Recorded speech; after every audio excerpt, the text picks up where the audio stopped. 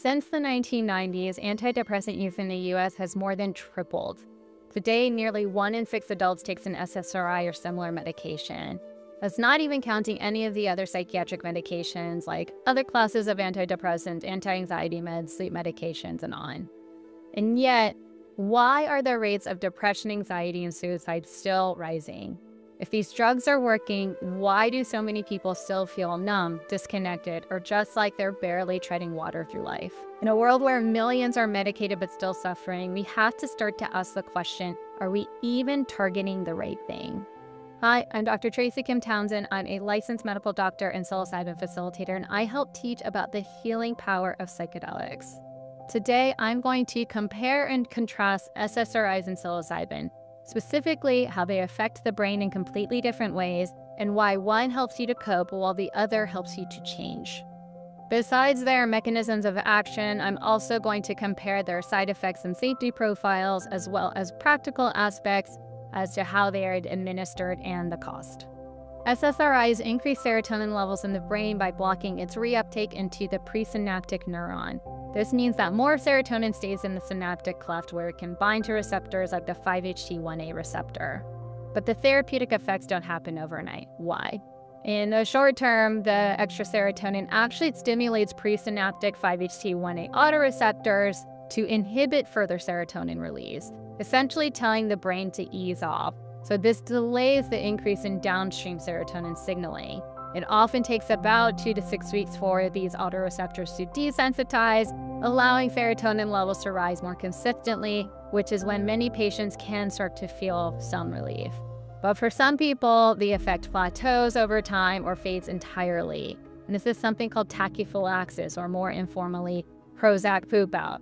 Over time, the brain adapts to the medication by downregulating the expression of serotonin receptors or reducing neuroplasticity. So mood flattens, motivation drops, and symptoms can start to creep back in, even while still on the same dose. Psilocybin, once ingested, is rapidly converted in the body to psilocin, which is the active compound that binds directly to 5-HT2A serotonin receptors, which are particularly concentrated in regions of the prefrontal cortex and the default mode network. Unlike SSRIs, which passively increase serotonin levels by blocking its reuptake, psilocin actively stimulates this 5-HT2A receptor, initiating a distinct signaling cascade that disrupts rigid patterns of brain activity. 5-HT2A serotonin receptor signaling leads to loosening of entrenched neural networks that underlie fixed beliefs, trauma patterns, and rumination. Functionally, this results in a state of enhanced neuroplasticity, allowing the brain to form new connections and rewire outdated emotional and cognitive patterns. This is why people report being able to reframe deeply painful memories, feel previously inaccessible emotions, or experience breakthrough insights during or after just one or two psilocybin sessions. The effects are often noticed immediately, and continued improvements unfold over several weeks or months after each administration session. Dr. Robin Carhart Harris and colleagues describe this mechanism as promoting active coping, which is in contrast to SSRI's more passive coping mode.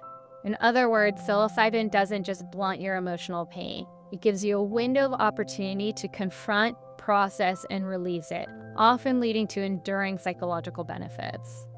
Now let's compare and contrast the side effects and safety profiles.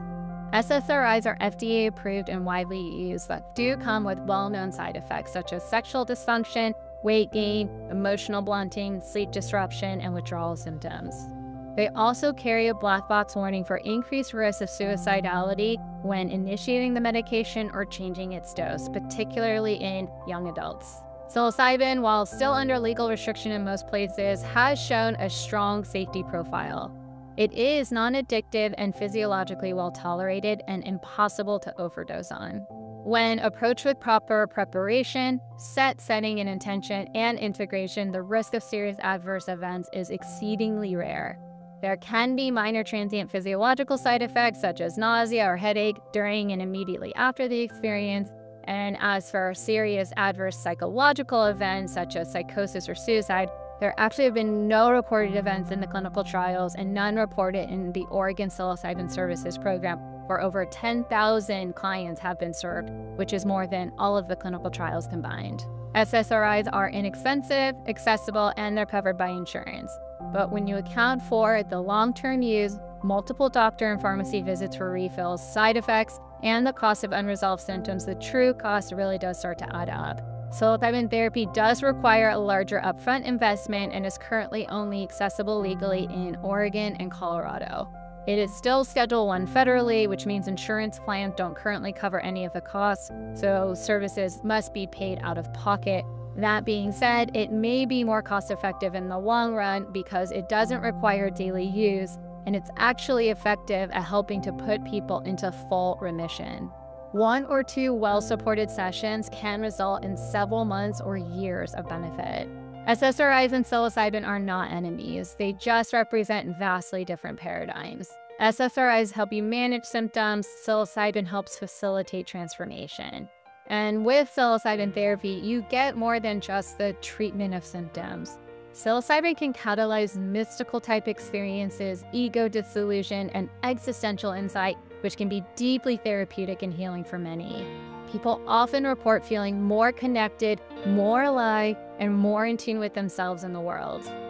Both have their place, but for people who are stuck, disillusioned, and seeking true change, psilocybin may offer something radically different, and that's the potential for lasting transformation.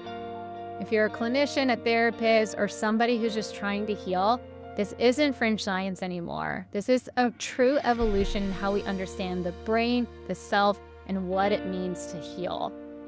If you have any questions at all, please do leave them in the comments below and don't forget to follow, subscribe for more down to earth education about psychedelics.